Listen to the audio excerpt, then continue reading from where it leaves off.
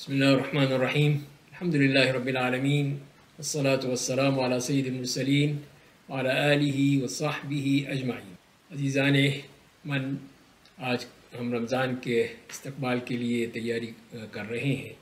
और रमज़ान का महीना बस आने ही वाला है। और उसके बाद फिर अल्लाह ताला की रहमतें और बरकतों का एक बेहतरीन सिलसिला इन शुरू हो जाएगा। कुरान करीम में हमें इसी बात की तरफ़ तवज्जो दिलाई गई है जैसे कि अरशाद बारी ताला है, या अयुल्लिन आमनु कुतिबा अलैकुमुस्सियाम कमा कुतिबा अलल्लिन मिन क़ब्लिकुम लअल्लकुम तत्तक़ून। तो हमने अब इस माह मुबारक का इस्तबाल कैसे करना है, किस तरह उसकी तैयारी करनी है किस तरह उसके लिए हमने पूरे अपने आप को भी तैयार करना है, अपने घर को भी तैयार करना है, और फिर उस तरह हमें तैयारी करनी है, जैसे कि मेहमान की आमद की तैयारी होती है।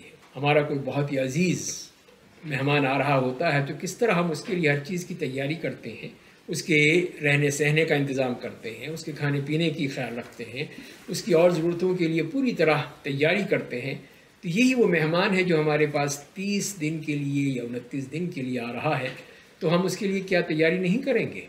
तो यकीनन एक मुसलमान की तो ये पूरी ख्वाहिश होनी चाहिए कि अपने इस मुबारक और बहुत ही मोहतरम और मुकर्रम मेहमान की पूरी तरह तैयारी करें।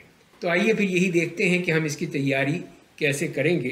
तो पहली बात यही है कि इस, कि अल्लाह ताला हमें इस महीने तक पहुँचा दे। ये दुआ करते रहें और दुआ ही के ज़रिए से हर काम अल्लाह ताला हमारे लिए संवार देता है।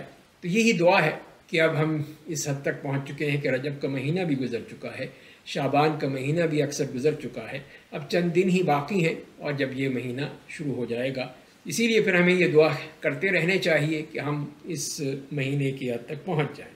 और जब ये चाँद देखें, रमज़ान का चाँद, हिलाल रमज़ान देखेंगे तो उस वक्त फिर हमें चाहिए कि हम फिर दुआ करें। अल्लाह अकबर, अल्लाहुम्मा बिलअमन वलीमान वसलामत वलइस्लाम वतौफ़ी लिमा तहब व तरदा रब्बी व रब्बुक, अल्लाह।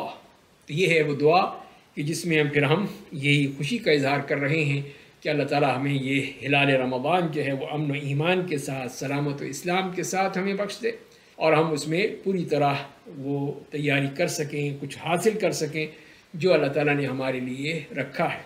दूसरी बात क्या है? वो ये है कि अब अल्लाह ताला का शुक्र अदा करना है कि रमज़ान के इस महीने में हम पहुँचने वाले हैं या पहुँच चुके हैं तो उसके ऊपर जितनी भी अल्लाह ताला का शुक्र अदा करें, कम है। इसलिए कि एक बहुत बड़ी नेमत है। उलफ़िल्ला व बरहमत ही फ़बिदाली का फलियफ़राह। यही तो अल्लाह का फ़ज़ल है। यही तो अल्लाह की रहमत है। उसी के लिए फिर हमें खुश होना चाहिए कि अल्लाह ताला ने हमारे लिए कितनी बड़ी नेमत अदा कर दी है, कितना बड़ा हमारे लिए एक तोहफ़ा दे दिया है कि हम इससे कितनी ही नेकियाँ हासिल कर सकते हैं और नेकियों की भरमार हमें हो सकती हैं। अगर हम खालसता अल्लाह के लिए काम करें तो लिहाजा फिर इस अजीम नेमत के जितना भी शुक्र अदा करें कम है। दिल से शुक्र अदा करना वही ज़रूरी है कि दिल से शुक्र अदा हो, ज़बान से शुक्र हो, अपने आज़ा जवारे से शुक्र अदा हो कि वाकई इंसान को खुशी हो रही है कि ये पता नहीं कि अगला साल मिलेगा या नहीं मिलेगा। कोई नहीं कह सकता, कोई बूढ़ा हो या जवान हो, कोई कह ही नहीं सकता है कि मैं लाजमी अगले रमज़ान तक ज़िंदा रहूँगा। अभी आप ज़रा नज़र दौड़ाइए कि आपके कुर्ब जीवार में आस पास में, आपके अज़ीज़ अकारब में दोस्त और अहबाब में, कितने ही वो अहबाब थे हमारे, कितने रिश्तेदार थे, जो पिछले साल हमारे साथ थे। रमज़ान की नहीं लम्हात में हमारे शरीक थे, लेकिन वो अपने रब के पास जा चुके हैं। अब क्या पता अगला रमज़ान हमें मिले या ना मिले तो यही वो चीज़ है कि जो हमें एक तरह से इतनी बड़ी गनीमत मिल रही है कि जो अल्लाह ने हमारे लिए दी है कि हम उसको गनीमत जाने और फिर शुक्र अदा करते हुए कि अल्लाह ने इस दफ़ा फिर हमारी ज़िंदगी में एक रमज़ान अता फरमा दिया है। अगले साल का कुछ पता नहीं मिले या न मिले।